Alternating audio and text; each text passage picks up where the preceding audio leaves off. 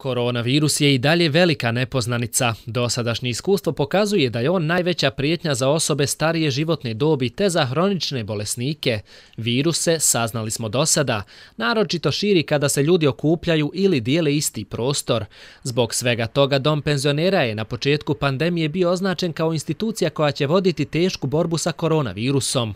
Ipak, Tuzlanski dom penzionera se pokazao kao primjer odgovornog ponašanja i profesionalnog pristupa.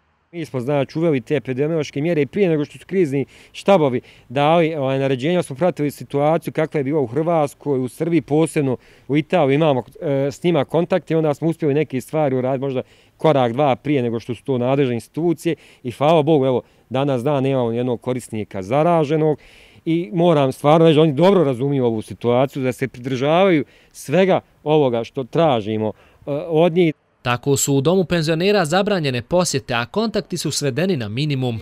Na novonastalu situaciju posebno se teško privikao Džema Lagić, koji je poznat kao aktivna i druželjubiva osoba. Zato mu je omiljeno mjesto dnevni centar gdje se svi korisnici okupljaju, druže ili igraju društvene igre. Zaposleni su tokom pandemije, objašnjava Džemal, vrhunski odradili svoj dio posla. Oni su odnijeli čitav taj teret, a Boga mi smo i mi, jer i nas, znate kako je.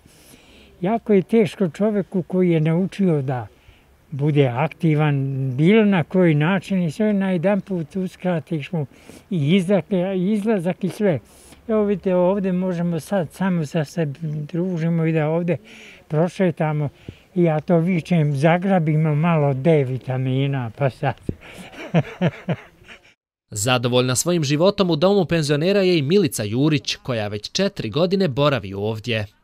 Ovo druženje, imamo kreativnu radionicu, imamo kulinarstvo. Ja učestvujem u tome, radimo ručne radove, imamo izložbu.